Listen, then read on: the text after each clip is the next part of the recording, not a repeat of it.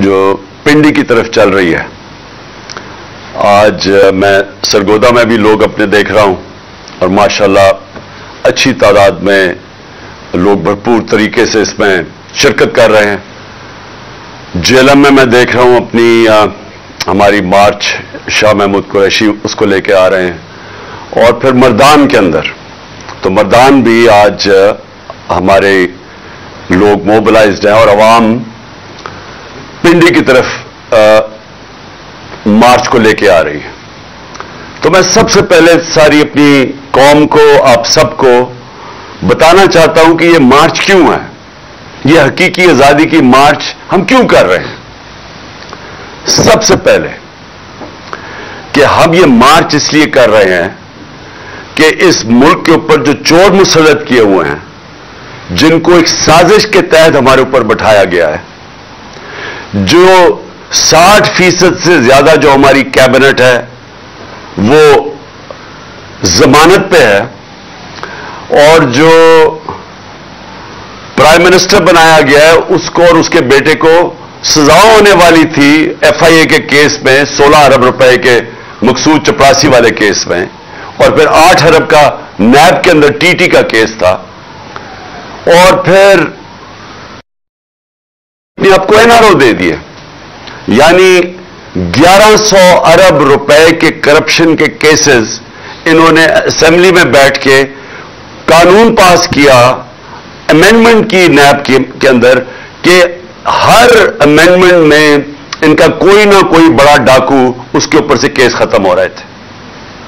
तो सबसे पहले तो यह कि हम इसलिए जा रहे हैं इस्लामाबाद में ये हमारा हक है पुरमन एहतजाज का एक जमहूरियत के अंदर कि हम एहतजाज करें कि हम भेड़ बकिया नहीं हैं, हम इंसान हैं, हम अब अमर बिल मरूफ पे खड़े हैं, जो कि अल्लाह का हुक्म है हमें कि हम ये जब इस तरह के चोर हमारे मुल्क के ऊपर बैठ गए हैं तो हम इसके खिलाफ मुजाहरा कर रहे हैं, मुजाहरे कर रहे हैं और मार्च कर रहे हैं और सिर्फ़ एक ये बताने की सारी आवाम को, अपने कौम को हम ये बता रहे हैं कि हम इस तरह के जुल्म और नाइंसाफी को नहीं तस्लीम करते। तो इसके अंदर जो हमारी कोशिश है कि पाकिस्तान में लोगों को समझाएँ कि कानून की हुक्मरानी क्या होती है। जब चोर इस ऊपर आके बैठ जाते हैं और अपने आप को एनआरओ दे देते हैं तो इसका मतलब यह कि यहाँ कानून की हुक्मरानी नहीं है, यह जनरल का कानून है। और हम ये कहना चाहते हैं कि हमारी जो इंसाफ की तहरीक 26 साल पहले शुरू हुई थी। उसका सबसे बड़ा मकसद यह था कि ना पाकिस्तान में जमहूरियत हकीकी आ सकती है, ना हकीकी आज़ादी आ सकती है, क्योंकि हकीकी जमहूरियत इंसान को आज़ाद करती है। वो आ ही नहीं सकती जब तक रूल ऑफ़ लॉ ना हो, कानून की हुक्मरानी ना हो, इंसाफ ना हो। और फिर खुशहाली नहीं आ सकती पाकिस्तान में, किसी भी दुनिया के मुल्क में, जिस मुल्क के अंदर रूल ऑफ़ लॉ इंसाफ ना हो। और सारी दुनिया में मैंने आपको बताया भी था कि जितने भी मुल्क सारे खुशहाल हैं वो सारे मुल्कों में नब्बे फ़ीसद से ज़्यादा रूल ऑफ़ लॉ है, यानी कानून की हुक्मरानी है। और जो सारे गरीब मुल्क हैं, उनके अंदर 10 फ़ीसद से भी कम कानून की हुक्मरानी है। नाइजीरिया जो तेल के जखीरे पर बैठा है, गरीब तरीन मुल्क है, क्योंकि वहाँ जंगल का कानून है। वह करप्शन है। जब कानून नहीं होता, जब इंसाफ नहीं होता तो करप्शन होती है और करप्शन मुल्क का दिवालिया निकाल देती है। तो इसलिए जो अमीर मुल्क है, वो अमीर है इसलिए कि वह इंसाफ है और वह करप्शन नहीं है। बड़े पैमाने पे करप्शन नहीं है। उनके वज़ीर चोरी नहीं कर सकते। और अगर चोरी करे तो एनआरओ नहीं ले सकते। उनका प्राइम मिनिस्टर नहीं कर सकता। तो जब पैनमा का जो इंकशाफ हुआ था तो जिधर जिधर बाहर के मगरबी जमहूरियत के अंदर जिन लोगों के नाम आए थे, वो सब या वो जेल में गए थे या उनको उन्होंने इस्तीफा दिया था, या वो खत्म हो गए थे। कौम ने उनको मुस्तरद कर दिया था। तो हम अमर बिल मारूफ पे चल रहे हैं, इन चोरों के खिलाफ। हम कानून की हुक्मरानी डिमांड कर रहे हैं कि हम ये चाहते हैं कि इस मुल्क में इंसाफ हो, कि ये ना हो कि सिर्फ़ छोटा चोर जेल में जाए और ये बड़े बड़े डाकू आके आज असेंबलियों में बैठे और अपने केसेस माफ़ करवाएँ। दूसरी वजह, जब से ये आए हैं, इस मुल्क की माशी माशी कत्ल हो चुका है। और ये मैं अब नहीं, छह महीने से कह रहा हूँ कि अगर अगर ये चोर ऊपर जो मुसलत किए गए हैं, अगर आप समझ रहे हैं कि ये किसी मुल्क को बेहतर चला लेंगे तो इनका तीस साल से मुल्क पे, हमारे मुल्क के ऊपर हुकूमत कर रही हैं। दोनों जमातें तीस साल से मुल्क पे हुकूमत कर रही है। इनके तीस साल में मैं बार बार अपनी कौम को बताता हूँ कि डॉक्टर इशरत हुसैन ने अपनी किताब में लिखा है कि जब से ये दो खानदान आए हैं, नब्बे की दिहाई में, हिंदुस्तान भी हमारे से आगे निकल गया, बांग्लादेश भी हमारे से आगे निकल गया। याद रखें कि नब्बे से पहले पाकिस्तान माशी तौर पे, हर तौर पे बांग्लादेश से भी आगे था, हिंदुस्तान से भी आगे था। लेकिन इन दो खानदानों के आने के बाद ये अमीर होते गए और कौम मकरूज होती गई। तो हम क्या चाहते हैं? हम चाहते हैं साफ़ और शफाफ इलेक्शन हो, एक नई गवर्नमेंट आए, ताकि सियासी इस्तेकाम से हमारी माशत में इस्तेकाम आए। पॉलिटिकल स्टेबिलिटी होगी तो माशी तौर पर स्टेबिलिटी होगी। और मैं फिर से आपको यह कह दूँ कि कल मैंने आपको कहा था कि पाकिस्तान, जब हम आए थे मार्च में तो पाकिस्तान का जो रिस्क है, यानी अपने कर्जों की किस्तें वापस करने में जो जो रिस्क थी या खतरा था, वो पाँच फ़ीसद था। कल वो चौसठ इशारिया पाँच फ़ीसद पर पहुँच गया था। और आज सुबह जो आज आप अखबार पढ़ें तो पचहत्तर फ़ीसद पर पहुँच गया यानी कि आज बाहर की दुनिया समझती है कि अगर वो पाकिस्तान को कर्जा दें तो पचहत्तर फ़ीसद चांस है कि पाकिस्तान कर्जे वापस नहीं कर सकेगा डिफ़ॉल्ट कर जाएगा। और ये इतना खतरनाक है, क्योंकि जब ये दुनिया ये देखती है तो कोई बाहर की दुनिया पाकिस्तान में सरमायाकारी नहीं करेगी। कोई भी कमर्शियल बैंक्स बरूनी पाकिस्तान को कर्जे नहीं देंगे। और अंदर भी जब लोगों को यह खतरा हो कि पाकिस्तान डिफ़ॉल्ट पे जाएगा तो डिफ़ॉल्ट का मतलब फिर मैं आज आप सबको बता दूँ उसका मतलब यह है कि अगर हम अपने कर्जों की किस्तें वापस नहीं करते तो बाहर से सारा डॉलर आने खत्म हो जाएँगे। और डॉलर जब खत, कम या कम हो जाएँगे और जब वो कम होंगे तो डॉलर की कीमत ऊपर चली जाएगी रुपया गिर जाएगा। और जब रुपया गिरेगा इस मुल्क में एक और तूफ़ान महँगाई का आएगा। तेल, बिजली, पेट्रोल, जितनी चीज़ें बाहर से मंगवाते हैं, वो सब महँगी हो जाएँगी। हर चीज़ महँगी हो जाएगी। तो एक तो महँगाई आएगी और गुर्बत बढ़ेगी। दूसरा, अगर आज मैं सरमायाकारी करना चाहता हूँ तो मैं सोचूँगा कि क्यों मैं अपना पैसा किसी कारखाने में लगाऊँ, जबकि मैं वो उसी पैसे का डॉलर खरीद लूँ, क्योंकि रुपया तो नीचे जा रहा है और डिफ़ॉल्ट की तरफ़ जा रहा है। इसलिए यह खतरा है। और इसलिए ज़रूरी यह है कि हम इस मुल्क में साफ़ और शफाफ इलेक्शन करवा के पाकिस्तान को इस दलदल से निकालें, जिसमें हम बड़ी तेज़ी से खुपते जा रहे हैं। तो ये फिर से याद रख ले कि कल हमारा डिफ़ॉल्ट की जो रिस्क थी, वो थी चौसठ इशारिया पाँच फ़ीसद। फिर से कि जब हम आए थे, हम जब आखिर में थे हमारी जब हुकूमत जाने लगी थी तो वो पाँच फ़ीसद थी। कल चौसठ इशारिया पाँच फ़ीसद पे थी और आज पचहत्तर फ़ीसद पे है कि और लोग समझ रहे हैं कि पाकिस्तान की माशत डूबती जा रही है और वो उसमें इतनी ताकत ही नहीं कि अपने कर्जों की किस्तें वापस कर सके। तो इसलिए भी इस मुल्क को निकालने के लिए एक ही रास्ता है इलेक्शंस और हमें पता है कि इलेक्शंस क्यों नहीं होंगे जल्दी, क्योंकि नवाज़ शरीफ खास तौर पे और जरदारी दोनों डरे हुए हैं। कि अगर आज इलेक्शंस होंगे तो ये हार जाएँगे। तो इन्होंने जो बाय इलेक्शंस अभी हुए हैं तो पचहत्तर फ़ीसद बाय इलेक्शन तो तहरीक इंसाफ जीत गई है। इसके बावजूद को इनको पूरी मदद थी इलेक्शन कमीशन की, इनको पूरी मदद थी स्टेट मशीनरी की, इनको मदद थी एस्टेब्लिशमेंट की, उसके बावजूद ये हार गए।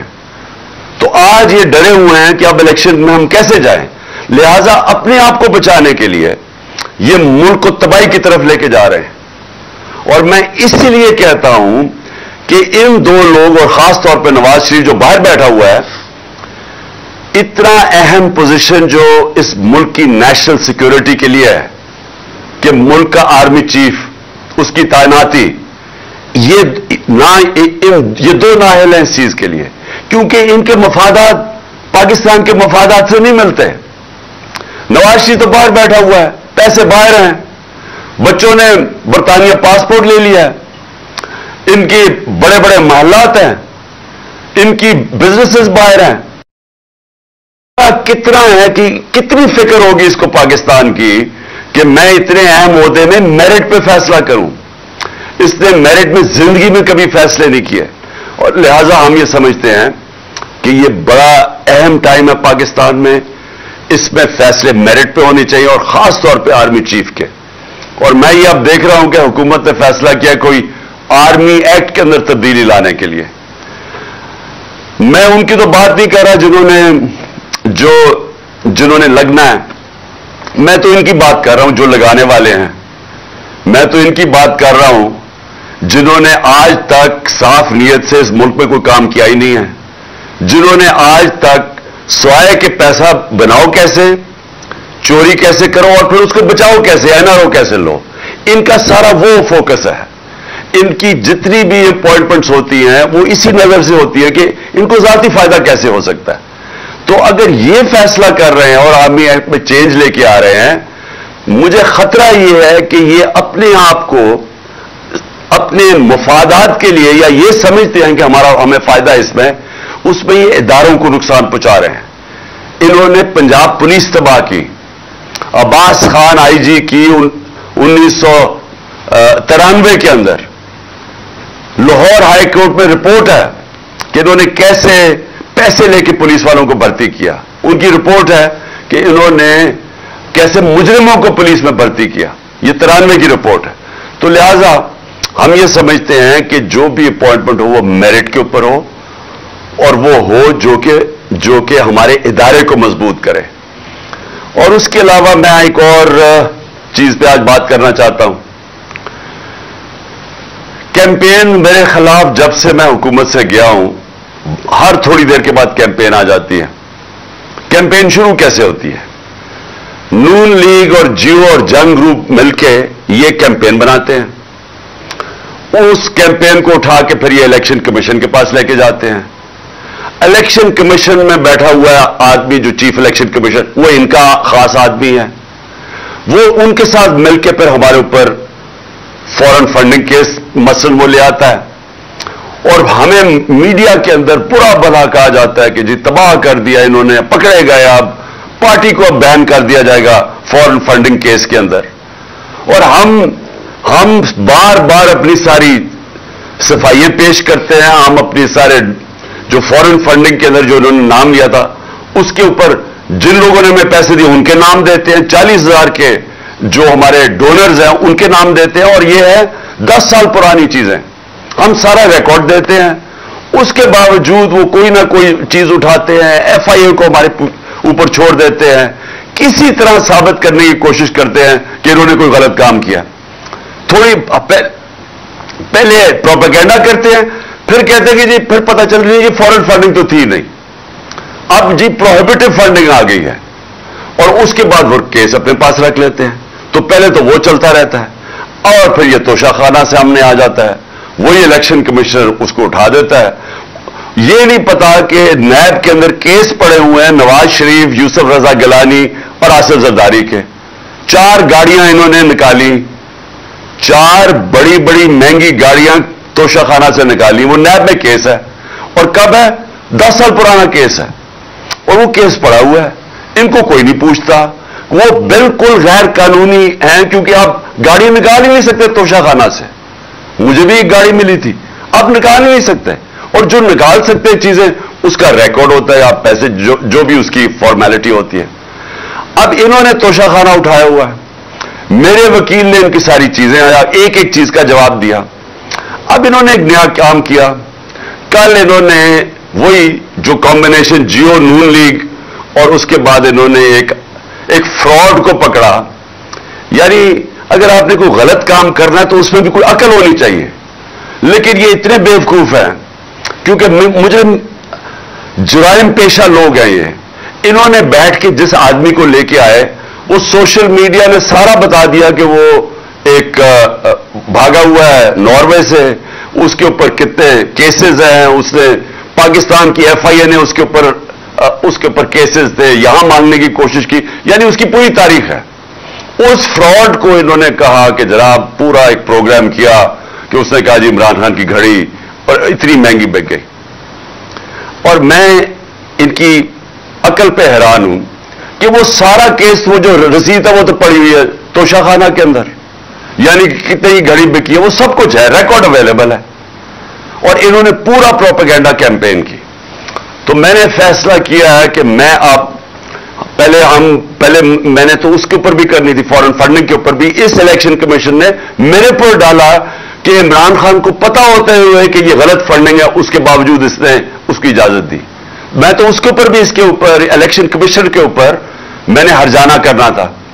लेकिन मैं आज अफसोस से ये कहना मुझे पड़ता है कि हमारे जो हमारा जो इंसाफ का निज़ाम है उसमें मुझे उम्मीद नहीं है कि मुझे मुझे कोई आ, मिलेगा इंसाफ मिलेगा।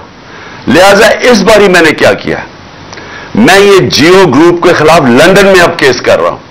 मैंने वकील से भी बात कर दी है। मैं इसके ऊपर लंदन में केस करूँगा और वो इसलिए करूँगा कि मैं वहाँ लंदन में हमारी रजिस्टर्ड चैरिटीज है जिसका मैं सरबराह हूँ नमल यूनिवर्सिटी और शौकत खानम की।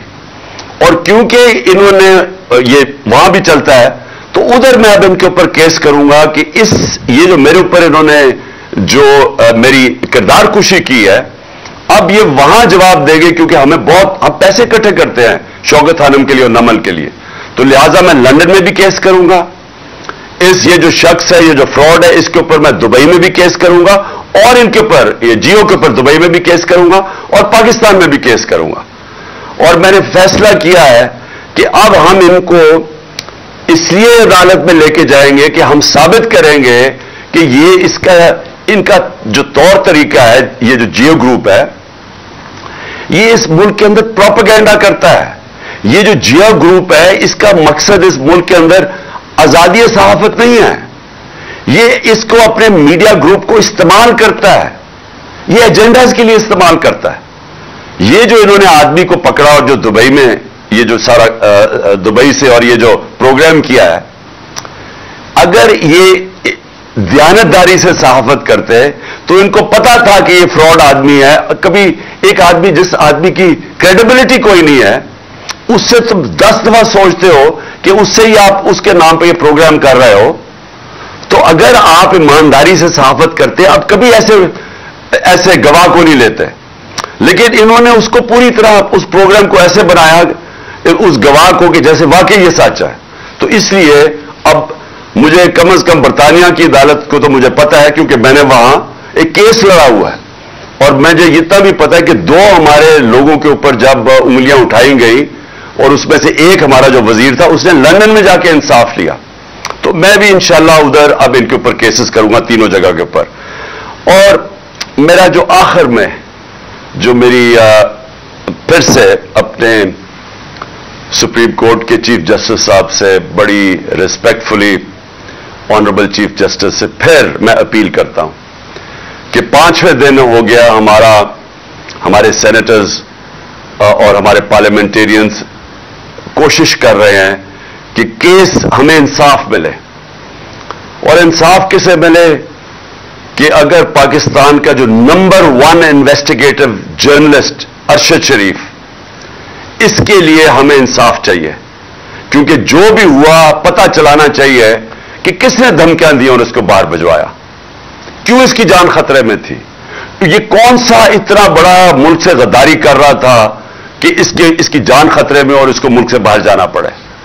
और फिर किसने फिर इस कोशिश की दुबई से इनको वापस लाने की? तो उसको कीनिया जाना पड़ा। ये मैं चाहता हूँ कि हमारे सुप्रीम कोर्ट इसके ऊपर पूरी तरह तहकीकात करे। क्योंकि ये सिर्फ़ ये नहीं कि एक पाकिस्तान का नंबर वन जर्नलिस्ट उसके, उसकी शहादत हुई है। ये सारे बाकी सहाफियों के लिए भी अगर सुप्रीम कोर्ट इनके साथ खड़ा होगा तो तभी वो सहाफी जो दयानतदारी से काम करते हैं, जो जो उनके जमीर की कोई कीमत नहीं होती, वो तभी इस मुल्क के अंदर सही माने में अपने आज़ादी सहाफत होगी और अपने हक हक और सच के लिए खड़े होंगे। तो इसलिए मैं सबसे पहले तो ये और फिर से मैं आज़म स्वाति का कहता हूँ कि ये पाकिस्तान का सेनेटर है। एक मुल्क के सेनेटर से अगर ये होता है जो आज़म स्वाति से हुआ है। और ये नहीं कि जो उसके ऊपर तशद किया गया और और एक ट्वीट के ऊपर। और मैं ये देख रहा था कि इस्लामाबाद हाई कोर्ट में एक जज साहब ने ये कहा है कि ट्वीट के ऊपर आप किसी को भी ये नहीं कह सकते कि मुल्क में कोई बगावत करने जा रहा है। यानी उसने बड़ा अच्छा आ, मैं दाद देता हूँ कि बड़ा अच्छा बयान दिया है।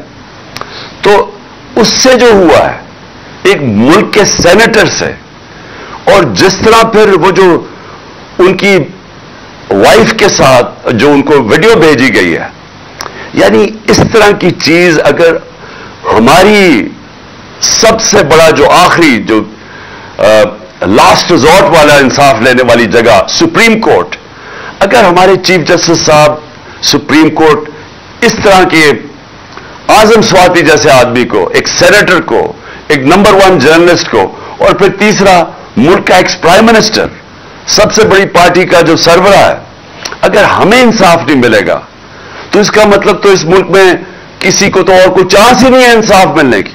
आम आदमी तो कोई सोच भी नहीं फिर सकता कि ताकतवर के सामने जब वो खड़ा होगा तो उसे इंसाफ मिलेगा। तो ये एक मुल्क के डिफाइनिंग मोमेंट्स है। फैसला कौन वक्त है हमारे मुल्क का? और इसलिए हम रिक्वेस्ट करते हैं कि इस मुल्क को हकीकी तौर पे आज़ाद करें, इंसाफ देके इंसाफ देंगे ही तो कौम आज़ाद होगी। जब मेरे पास हकूक होंगे तो वो मुझे आज़ाद करेगा। यहाँ के जो पाकिस्तानी बाहर जाते हैं काम करने के लिए, और मैंने अपनी आँखों से देखा है। बरतानिया के अंदर 50 साल पहले मैंने देखा मजदूर पाकिस्तान से गए काम करने के लिए। लेकिन क्योंकि वहाँ इंसाफ का निज़ाम है, हकूक उनकी, उनको तहफ़ देता है। क्योंकि वहाँ लोग आज़ाद हैं, हमारे पाकिस्तानी वहाँ ज़्यादा आज़ाद हैं। निचले तबके के लोग वहाँ ज़्यादा आज़ाद हैं, क्योंकि प्रोटेक्शन है। देखते देखते कहाँ से कहाँ पहुँच जाते हैं वो? खुशहाल हो जाते हैं, वो उनके बच्चे कोई डॉक्टर बन जाता है, कोई कुछ बन जाता है, क्योंकि जो माशरा है, वो मौका देता है लोगों को ऊपर आने के लिए, क्योंकि वो इंसाफ देता है। वो लोगों के हकूक की हिफाजत करता है। तो पाकिस्तान में भी वो वक्त है कि हम इस मुल्क को अब एक आगे लेके जाएँ। यानी ये जो मुश्किल आजकल दौर है और ये जो चोर ऊपर मुसलत है, इसमें से जो इस अंधेरी रात में से ये जो रोशनी अब ये है कि शायद हमारा इंसाफ का निज़ाम काम करना शुरू कर दे, शायद हमारा इंसाफ का निज़ाम कमज़ोरों को तहफ़ दे दे जब वो ताकतवर के सामने खड़े होते हैं। और यही यही मैं हमेशा कहता हूँ कि हमारा मुल्क इस्लाम के नाम पे बना था। अजीम नारा था पाकिस्तान का मतलब क्या? ला इलाहा इल्लल्लाह। कि वो ला इलाहा इल्लल्लाह जो इंसान को आज़ाद करता है, कि जब वो स्वय अल्लाह के इंसान जब किसी के सामने नहीं झुकता, वो इंसान आज़ाद हो जाता है। और फिर जो कानून होते हैं, उस, उसी ला इला का जो फलसफा है, वो फिर इंसाफ और अदल और इंसाफ के कानून, वो फिर इंसान को प्रोटेक्ट करते हैं, आज़ाद कर देते हैं। तो अभी तक तो इंसाफ नहीं मिला इस मुल्क में लोगों को। और इसीलिए हम आगे नहीं बढ़ सके। इसलिए हम मकरूज हैं। इसलिए हम दुनिया में बाहर कर्जे मांगते फिरते हैं। इसलिए आज ये जो पचहत्तर फ़ीसद पाकिस्तान की अब रिस्क फैक्टर बन गया है कि हम अपने कर्जे नहीं वापस कर सकते। तो ये वजह ये नहीं है कि मुल्क में वसाइल की कमी है। वजह नहीं है कि हमारे लोग टैलेंटेड नहीं है। ये बाहर जाके बड़े बड़े काम करते हैं। वजह यह है कि पाकिस्तान के अंदर हकीकी आज़ादी नहीं है, क्योंकि अदल और इंसाफ नहीं है। तो इसलिए चीफ जस्टिस साहब सारी कौम आपकी तरफ़ देख रही है। और मैं और कौम को आज कहता हूँ कि इंशाला आप सबने तैयारी करनी है पिंडी की। और मैं एक या दो दिनों के अंदर आपको बता दूँगा कि वो कौन सा दिन है जब हम सब पहुँचेंगे पिंडी। और इंशाला फिर वहाँ जाके अगला अपना प्लान हम करेंगे। लेकिन जो भी हमारा प्लान होगा, वो पुरमन होगा, वो आइन के बीच में होगा हम किसी किस्म की कानून की खिलाफ वर्जी नहीं करेंगे। हम सारी वो चीज़ें करेंगे जो कि हमारा आइन हमें इजाज़त देता है। पाकिस्तान